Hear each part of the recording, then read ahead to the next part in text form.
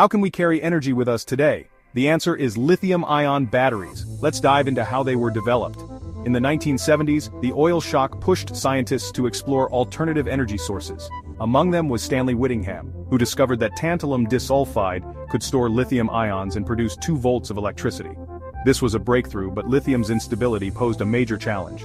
Lithium reacts violently with water making these early batteries unsafe. As a result the project was put on hold, however this research laid the groundwork for what would become the lithium-ion battery. In 1980 John Goodenough made a key advancement. He discovered that using lithium cobalt oxide as a cathode could produce a higher voltage, 4 volts, and improve stability. This breakthrough significantly increased the potential for commercializing lithium-based batteries. In 1985 Akira Yoshino further refined the technology. He developed a new battery structure that could safely store and transfer lithium ions without using pure lithium metal. To test its safety, Yoshino conducted rigorous experiments including controlled ignition tests.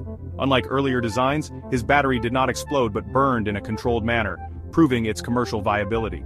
In 1991, Sony became the first company to commercialize lithium-ion batteries. In 2019, Stanley Whittingham, John Goodenough and Akira Yoshino were awarded the Nobel Prize in Chemistry for their contributions to lithium-ion battery development. The Nobel Committee described their achievement as one that they created a rechargeable world. The future of batteries is evolving. What will be the next step?